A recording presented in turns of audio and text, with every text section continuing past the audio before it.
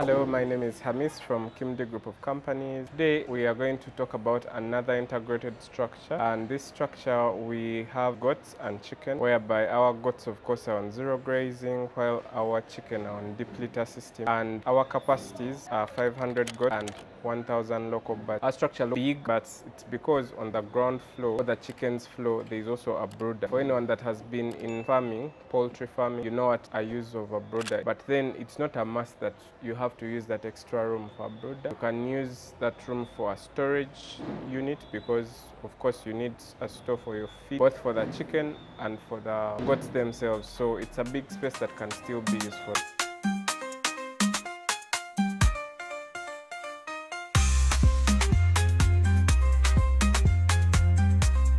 I'm going to start with the goat section because it's the bigger thing on this design. Our design is going to look a little different from our usual integrated structures and this is because first and foremost our structure has many more partitions on the inside and then it also has balconies on the outside which is not a usual thing on our designs. Our designs usually have a ramp and it's landing then you're inside the house and you don't have to, you know. But why do you have a balcony on this one and not on just one side but both? The reason is simple. On this particular design the client requested that instead of putting them inside we actually put them outside. Now remember our design is an integrated structure with the goat on the first floor, which means that our shed is over what you would call human height.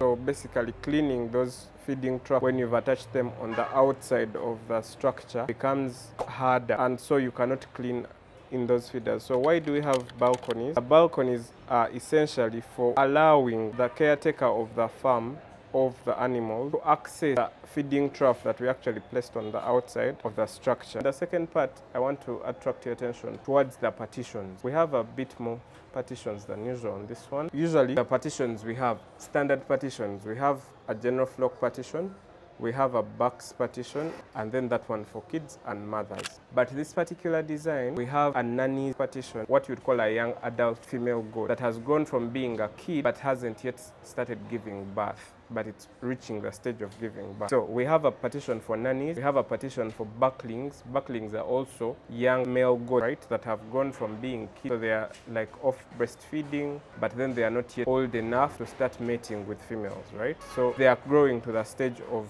actually mating, but have not yet reached there. So we have bucklings, we have nannies, we have the general flock, the adults, we have bucks, now the adult male that is ready for mating and then we have those those being now adult females that are ready to mate we have kids and then we have an isolation partition in them as the plan shows. So that is the difference between our usual structure and in this structure also. This also these so many partitions also lead to the need for a balcony outside in the sense that because there are so many partitions, if you're going to have feeding troughs designed for each partition, find that you're going to end up using more material in making feeding troughs on the inside. So it's better you make one continuous feeding trough on the outside of the structure, which also makes it easy for someone that putting food or feeds in the feeding trough so that you don't have to keep walking in and out of every partition, add food, water, things like that. We have water in each partition. That is mostly about our internal design of the structure. Let's talk about integrated structures in general and how they operate, especially for you who is looking at this video or who is looking at an integrated structure for the first time. The most important question about integrated structure. Why do you have to construct an integrated structure rather than a standalone goat structure and another standalone chicken structure, given that we're talking about an integrated design? Integrated structures are highly recommended for you who is willing or who desires to move into livestock farm but you have limited space and is also recommended these two things move together because you have the finances to set up this structure, but then the space you're working with is limited. Someone may ask you, if you have the finances to set up the structures, then why do you have limited space? Because those finances could get you more space. This usually occurs in a situation whereby, let's say you work around town, for those people that are in urban areas or semi-urban areas, where you're not going to get a lot of, you know, free land. You're not going to find five acres in town centers to set up a standalone goat structure. This is where I think of setting up an integrated structure.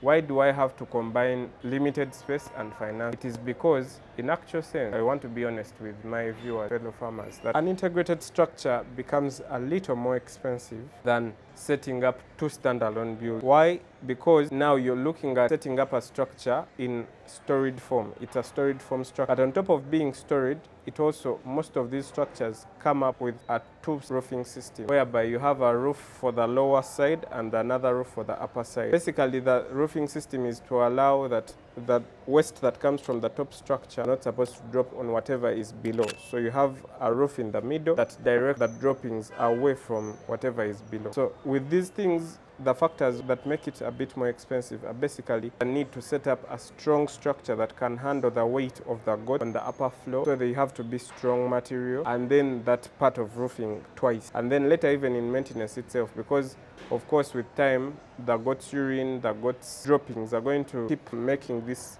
roof in the middle to corrode with time because of the acid in the urine. So there is a bit of maintenance over time on that middle part. So the solution would be to use stronger gauge of iron sheet, but which is also expensive. But then it also has its benefits. So for you who has enough space, I wouldn't advise you to go for this setup. Although, what are some of its advantages? We are looking at a system of construct that allows you have two items in one space, at least one ground space. Right? So you find that way you have like apartments for someone that would have built five units on the ground floor and now you need no space and then you build a storied apartment building. So now instead of five, you have 10 units. It's the same way it works. So you have a goat's unit over and then a chicken's unit on the ground floor, right? And then the other advantage is that even for you that doesn't have enough money to set the whole system up in one go, you can start with either side. You can be like, maybe for now I'm going to do chickens on the ground floor. And then over time, when the money comes through, you actually continue the construction. Just the same way they build ordinary storied buildings, you know,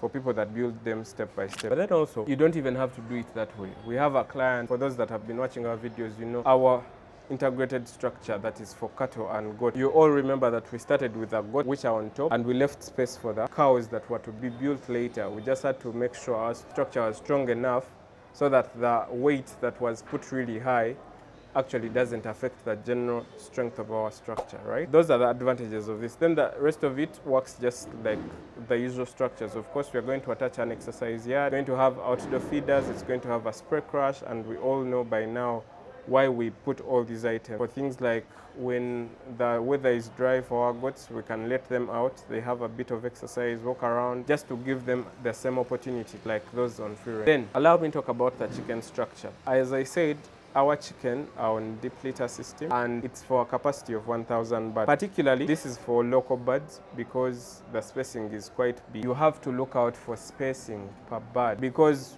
we know, we all know, local bird and broilers, and then what would be the mixed versus the Kroiler. You may have a different name for them where you are, but those are like the mixed where they still come up with a good body weight, but then they still lay. These birds tend to have different space requirements because of their different character traits, right? We all know local birds are more active, just like layers. They are more active, they walk around a lot, they play, they jump around, they fly around, you know. While broilers are docile. Just have to give them food, they don't walk around much, they are more quiet. So you find that a square meter, you're going to assign 12 bird broilers to a square meter. Yet, you're going to assign 8 locals but or eight layers to that same square meter. Why that difference of over four birds? It's because the broilers are docile. It's going to eat in one place, it's going to move really little, and then it's going to sit down. While a layer, it's going to jump, it's going to go disturb another one, it's going to keep walking around, and that is their nature. Otherwise, when you compact them and they don't have enough space, they're going to gain a lot of weight and then because of lack of exercise, even laying eggs becomes a problem in time. That is one very important thing. So the reasons that attribute to the size of the ground floor for the chickens and its size is simply because one, we are dealing with local or layer birds in this situation. So that's why it's big in size because there are times where you're like, I'm going to only have 500 birds or 1,000 birds but I want them to get space because I'm going to allow them go outside. You want to give these birds enough space indoors that they almost feel like they're outdoors. They almost feel like they've walked a whole compound, right? That was one of the things that our client wanted. Is like give them the space they need. Construction is not a problem. They'll eat and they'll walk around the way they want. So that is another thing.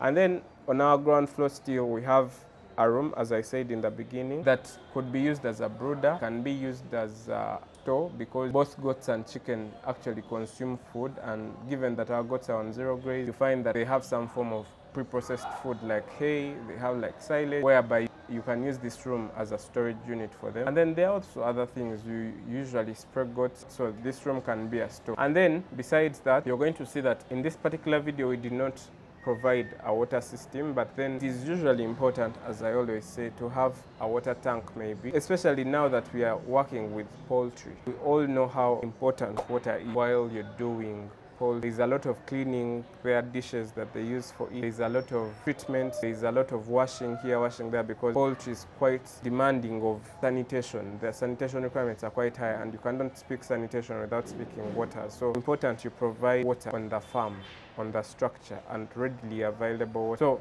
it is very important to do that and we add a water tank on the side. Then our structure design also, as you may see, it has a ramp of course for access of the upper floor it has an exercise yard and then it has a spray crush in the exercise yard and outdoor. By this time we all know how that system works. So I also want to attention for those that are meticulous on how you look at these videos. You realize there is a trench on both sides of our design. These trenches are for a very, very simple reason. When our droppings come from the goat side, and they go over the roof. We want them to be as easily collectible as it would be on an ordinary standalone goat structure, right? So we put these trenches to collect whatever droppings fall off the roof so that we can actually direct those droppings towards a central collection point. and from there these wastes can be used in the garden as manure these can be put into biogas tanks and for whatever reason you want to use that waste for it can be done while collecting clean manure, you know, clean waste without it mixing in the soil. This is very important in this particular case, even more important when you're dealing with an integrated structure of